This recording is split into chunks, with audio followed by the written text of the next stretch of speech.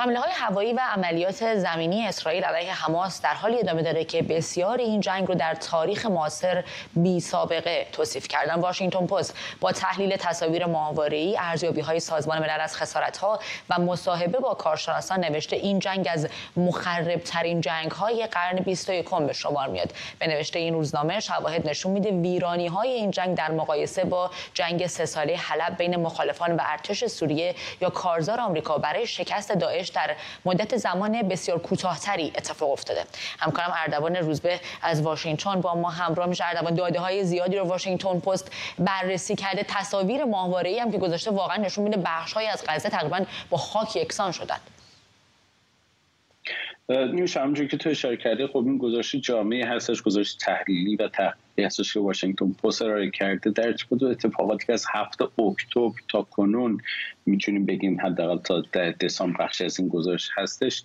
در ارتباط اتفاقاتی که در غزه افتاده در مقایسه بین بمباران های مختلف در سالهای مختلف از جمله در سوریه در عراق و دیگر موارد اشاره کرده که اتفاق مهمی در اونجا افتاده اون بحث این هستش که به طور جدی غزه ویران شده. البته طبیعی است که به پیش اینم وزیر دفاع اسرائیل و گالانت گفته بود گفته بود غزه به هر حال به شرط قبلش باز نخواهد گشت.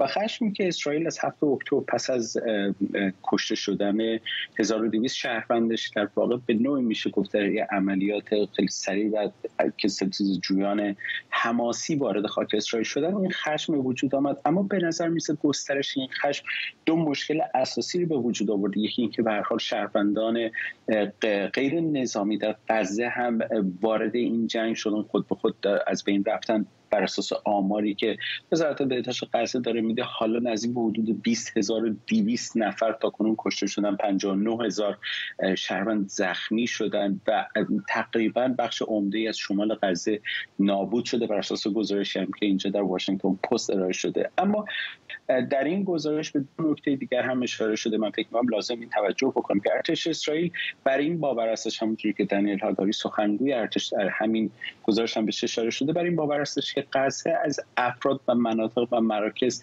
داره سوء استفاده می‌کنه و در واقع به نوعی در بین مردم خودش داره قایم می‌کنه تا بتونه عملیات انجام بده. از طرف دیگر بحث بر سر این هستش که به نظر می‌رسه دولت اسرائیل ساده ترین راه رو انتخاب کرده. یعنی دست کم استفاده از 29 هزار بمب برای تخریب مواضع حماس. ما دیروز می‌دونیم که ارتش اعلام کرد در تونل های سیستم فرماندهی حماس رو در منطقه موسوم به ایسا اونا فتح کردن که تونستن نزدیک به صدها کیلومتر تونل مراکز فرماندهی زیرزمین و و مسائل از این دست رو بگیرن. شاید بهتر باشه همونجوری که در این گزارش می‌بینیم این تخریب بازگشتش بسیار کار سختی خواهد بود زندگی مردم عادی. عملا یک میلیون 900 هزار نفر به زندگی عادی بر نخواهند گشت. مگر اینکه اسرائیل تصمیم بگیره روش هاشو در ارتباط با از بین بردن حماس عوض بکنه و توجه بیشتری هم به مسئله شهروندان فلسطینی در غزه داشته باشه. ممنونم از توضیحات. در دوان روز به همکارم از واشنگتن.